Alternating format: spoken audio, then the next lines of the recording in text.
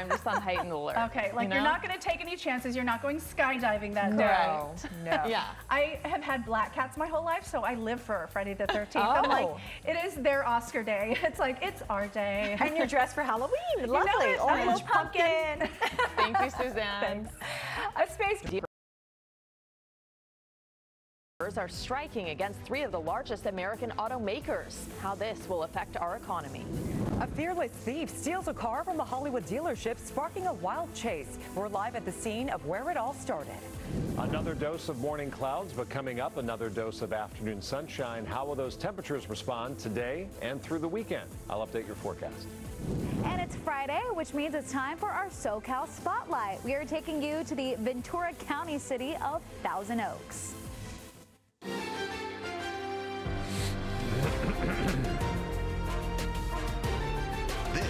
KCAL News Mornings.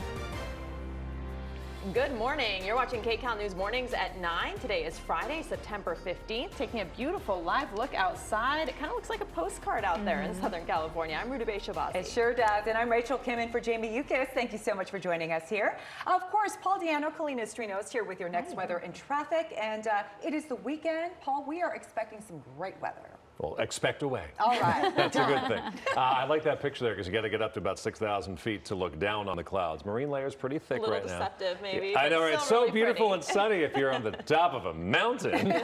um, for us living below the clouds, which is most of us right now, we're stuck with the clouds for a couple more hours. Let's take a look outside and show you that beautiful picture once again. Yeah, that's we're about 6,000 feet in elevation, but it's kind of cool to see that marine layer banked up against the clouds. So even in the foothills, you are cloudy this morning. The only exception is the Antelope Valley. Van Nuys, certainly under the cloud cover in the San Fernando Valley, where it's currently 66 degrees. We are 64 in Burbank, 61 in Claremont, 64 in Riverside, 68 Laguna Beach. Everyone's cloudy.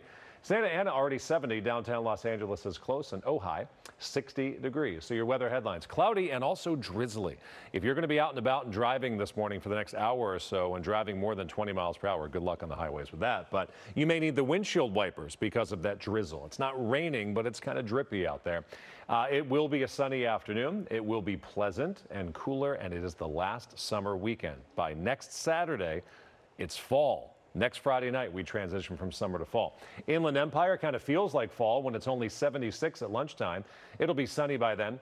Highs today, Riverside 89, LAX though cooler 72, tying you with Malibu, Santa Clarita 87, and with all that sunshine, Palmdale, you hit 95 degrees. Cooler than average weather continues, but for how long? We'll talk about that coming up. Right now, let's talk about traffic. A lot of issues this morning. Here's Kalina. Yeah, we really have had a lot of issues. Um, this has been a consistent problem spot for our morning commute, and unfortunately, it is a deadly crash.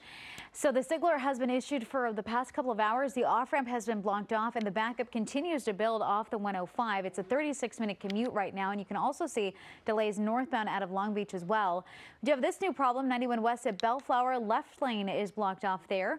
Overall look at LA as a whole. Some areas are improving. That includes the 210, 10, and 60, but we still have heavy delays on the 110 north and also on the 10 through Mid-City. Here's a look at the Inland Empire. The Cajon Pass looks great. The 91 has cleared up, but the 10 is still a problem spot. This is all because of a jackknifed Big Rig eastbound 10 at Central. Two lanes along with the off-ramp blocked off. Rudabeh, back to you. Kalina, thank you. A wild and dangerous police pursuit stretched from Hollywood all the way to Beverly Hills. Yeah, a man broke into one dealership, took off in a stolen car, and tried to do it again across town. KCAL News reporter Kara Finnstrom is live in Hollywood with how this all ended. It's crazy, Kara.